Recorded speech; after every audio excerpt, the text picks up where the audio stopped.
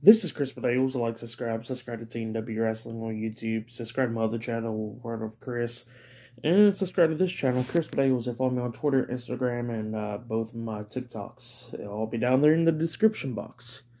And I'm here to do my AEW Dynamite February 1st, 2023 reviews.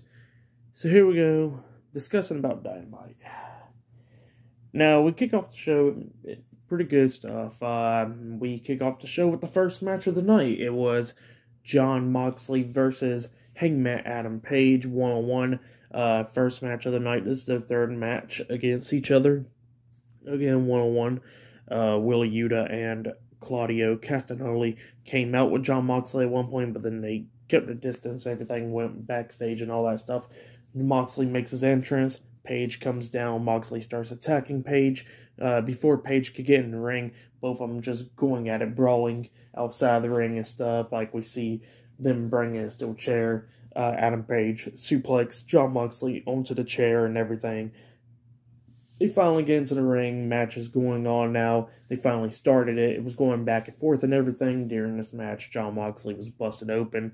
Uh, Adam Page powerbombed Jon Moxley through a table outside of the ring through the um, the timekeeper's table whatever you want to call it.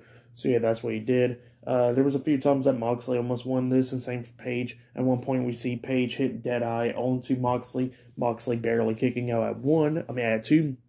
And then uh, Page at one point got back onto the ring apron, jumps over, hit to hit the buckshot lariat onto Moxley. Moxley ducks, and then Moxley to hit the paradigm shift or the Death Rider pretty much onto uh, Page, but Page reverses it, and then he hits, but Page hits a tombstone power driver onto Jon Moxley, and then he goes back onto the ring apron, finally hits the buckshot lariat onto Moxley, pins him one, two, Moxley barely kicking out at two. It looked like it was going to be all over, and then Page locks on the um, that face lock bulldog onto Moxley, trying to make him tap out and stuff, but Moxley reverses it, rolling him up for the one, two, three. So yeah, Jon Moxley defeated Adam Page tonight on Dynamite.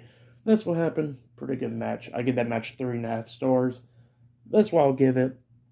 So yeah, uh, that's why I give the match. And then after the match, Page and uh, Moxley was trying to brawl and stuff, but Claudio and uh, Wheeler Yuta had come in, just separating the two, make sure they don't fight and stuff, and both of them just flicking each other off, just talking, you know, insulting each other. So yeah, uh, that's what they was doing after the match, and yeah, it was a it was a pretty good match to kick off the show. But yeah, like I said, I give the match three and a half stars, and then after that, they showed a pretty good video package of Darby Allin and Samoa Joe's feud and yeah, later on tonight, they'll be going against each other in a no holds barred match for the TNT Championship in the main event. So yeah, that match will be happening later on tonight.